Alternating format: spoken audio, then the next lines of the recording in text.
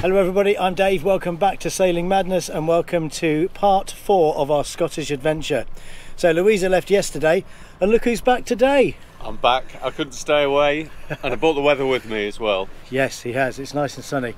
And the forecast is for no rain today, I believe. That'll be good. That'll be very good. Louisa set me the challenge of uh, trying to be uh, be best crew member. Oh, she was a speed she's demon. definitely beaten me. Well, uh, I don't know about beating you, but she's definitely better looking than you. So, uh, so I'm going to be running around a lot today, making up for it. Okay, so still at Kip Marina, we're just slipping the lines, we're going to go to the fuel berth and then we are heading out up the lochs and kyles.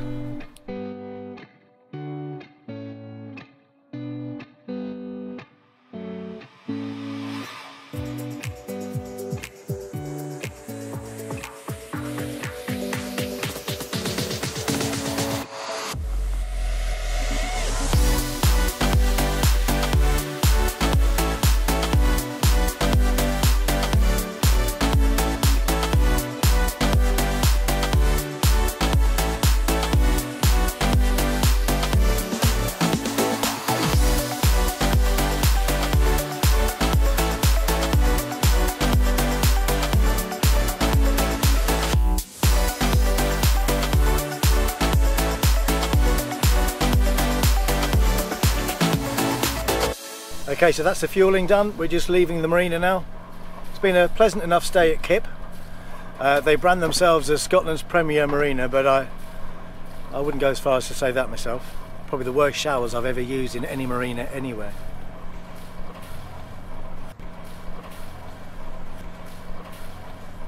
But staff friendly, very helpful, and the food in the restaurant was quite nice, even though they don't sell Guinness. Well, they do, but it's only in a can, but that's not the same.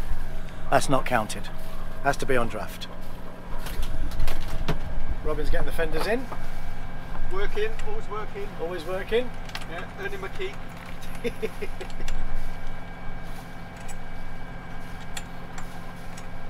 Would Sir like a cup of tea next? Oh well, well, well, one could one one could enjoy coffee. Would Sir like that steamed cappuccino? Oh yes, please, with sprinkles on top. Chocolate sprinkles. Sir will just have to flip him because I'm busy. Well, I was just about to say I got him well trained, but after a comment like that, I'm not sure. I think more staff training is needed. More crew training.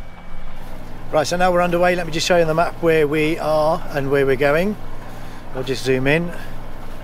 Here's Kip Marina, which is where we just left. And then we are heading down the Firth of Clyde, and then we're going to be going back up this way. Now, this is where we went in last week's episode, uh, the East Kyle. So we're going to head to this area here, and then we're going to see what the winds are doing, and then make a decision where we drop the hook for tonight. We've got a couple of options, and uh, we'll see where we end up.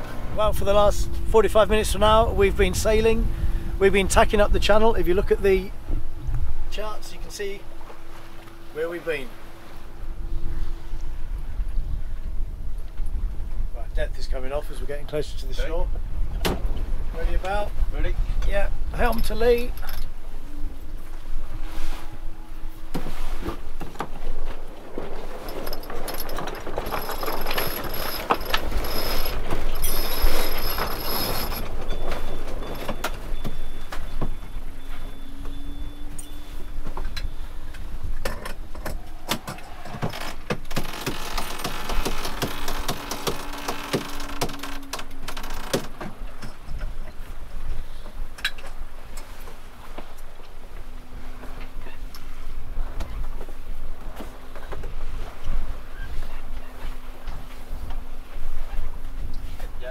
Yeah. Yeah.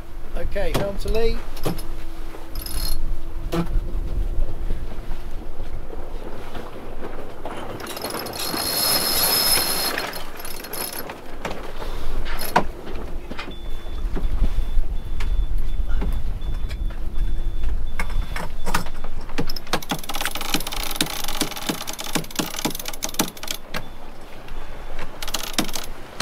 It's the Waverley. There's a lot of people on it. Wow. It's a. It's still got steam engines apparently, but it's powered by um, gas as opposed to coal. That's um, coming down to Llandudno Pier soon. It's been. It, it was there in June, was it? May or Oh, June? was it? Catch it, come on.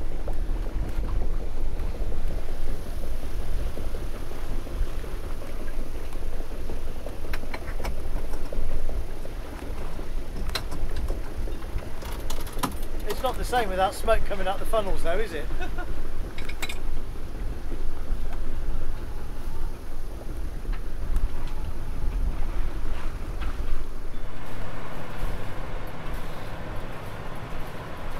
Not even bothered to turn his seat round.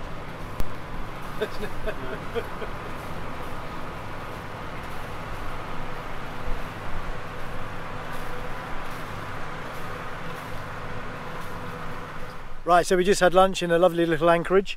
Um, the island of Eilean Dubh is over there. And if you watch the last episode where I got the rope wrapped round the prop, that happened at Wreck Bay, which was over here. Now the plan is we're heading down to Kames, which is down down here. This is the West Kyle, so we're going to be heading down this way. And we might have a little bit of wind for sailing, but we'll see.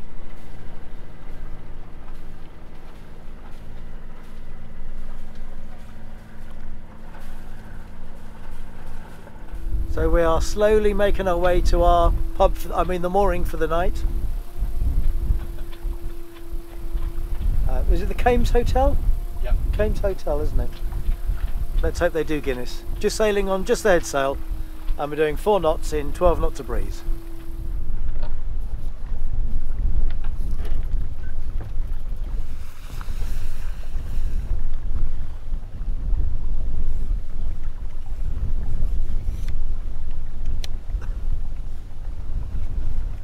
Remember, if you're enjoying this episode, please like and subscribe. And if you've got any comments or questions, please type away in the box below. Hitting like and subscribe and commenting will really help the channel grow because the more you interact with us, the more YouTube will put us in front of other people who may not have found us yet. So thank you very much. So it's the morning after the couple of pints of Guinness the night before at the uh, Kame, Kame, is it Kames? Kames Hotel. At the Kames Hotel, and uh, I'll definitely go back there. The meal was lovely, wasn't it? We had a lovely meal. Really, really good. And uh, great mooring buoys. Uh, really fantastic views. some entertainment watching another boat attempt to pick up a mooring buoy about four times and missed it every time. After your After after we did it on the first attempt. attempt? Look First at attempt. Look at that. You know we're due a really bad one. Yeah, I know. Yeah. and we'll have people looking at us and laughing at us as well. Good entertainment. Absolutely. Right, let me show you on the map then where we are heading. So this is where we've just set off from, and we're heading down the West Kyle, and we're rounding the the tip, and we're heading up Lower Loch Fyne, and the plan is we're going to stop around here, Otter Bay, for lunch.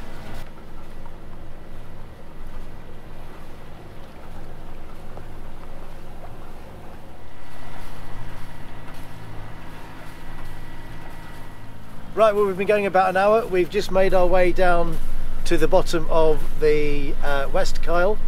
We're now in the Inchmarnock water and we are now kind of almost doing a 180 degree turn and heading up Lower Loch Fyne. And look at that, the sun has come out. It won't, it won't be out for long though. Well, can you hear the silence? We got the sails out. We're going to be tacking up the loch putting on all those tacks just like we did yesterday. But currently we've got about 10 knots of breeze and we're doing about three and a half through the water. We were. Oh, we were. oh, that's the helmsman's fault. He's gone too far in, into the wind. Too busy filming, not enough concentrating on where the boat's going. Oh, and look at that, we've heaved two now. You definitely can't do two things at once. Well, we were doing three knots through the water. Now the sails are. Oh, come on, get over. Here you go. We'll be back on the wind in a minute. We've got it, we've got it.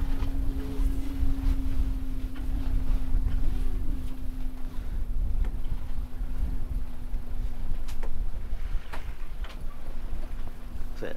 Going again now. There's a lesson learnt. Concentrate more on sailing than filming. Well, now we're going 12 knots of breeze. We're still kind of, we're on a close haul now really. Feel her accelerating. You can just feel it go, can't you? But we're heading up there, that's where we want to be going, so we're tacking up. Right, okay, so we are coming up to Otter Bay. This is going to be our mooring for the night. And the building that you can see ahead is the Oyster Catcher. So uh, we're probably going to eat on the boat tonight and go there for a beer later on. Uh, but we're going to be picking up one of their uh, mooring balls, stopping here for the night. And it's been a great day sail, had a fantastic sail up Lower Loch Fyne. The winds have been fairly consistent, sort of 12 to 15 knots. And I've learned so much about the boat today. We've been trying all sorts of different things with sail plans, uh, seeing what worked and what didn't work quite so well. But uh, I'll show you on the map in a minute where we've been and how many tacks we've done again. Uh, we were pretty much heading on a, a, close haul pretty much all day today.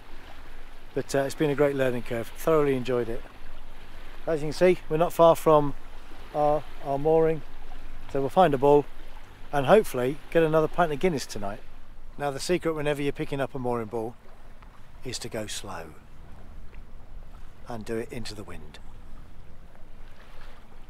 So we're going for the mooring ball that's between this blue boat and the small little fishing boat and we're going to swing round so we're facing into the wind and hopefully I pick the ball up on the first attempt. Come over this way a bit.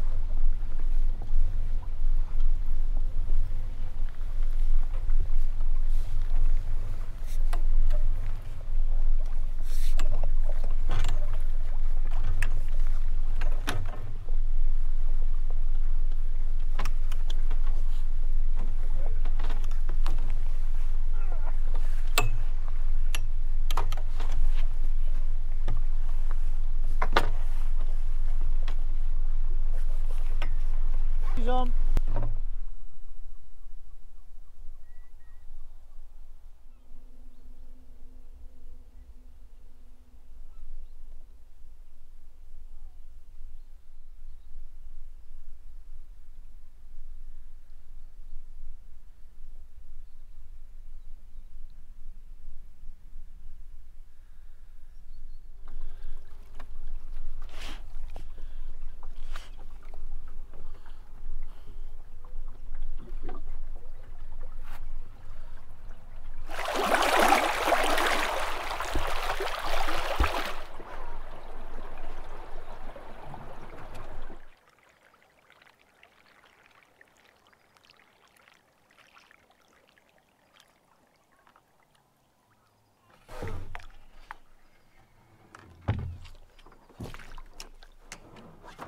Come on. Good.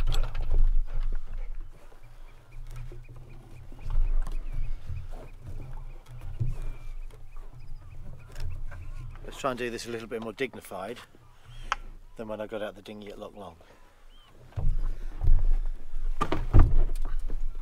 That's better, isn't it?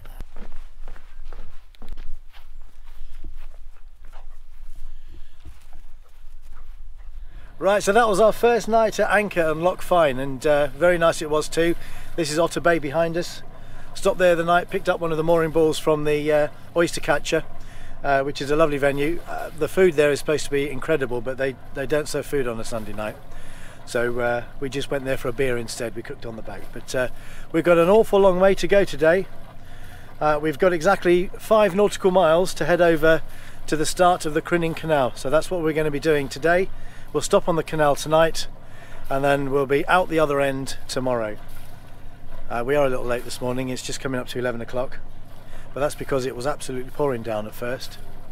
Um, oh, Robin's just telling me I'm going the wrong way. Where am I going? Oh, right, oh, yeah, yeah, yeah.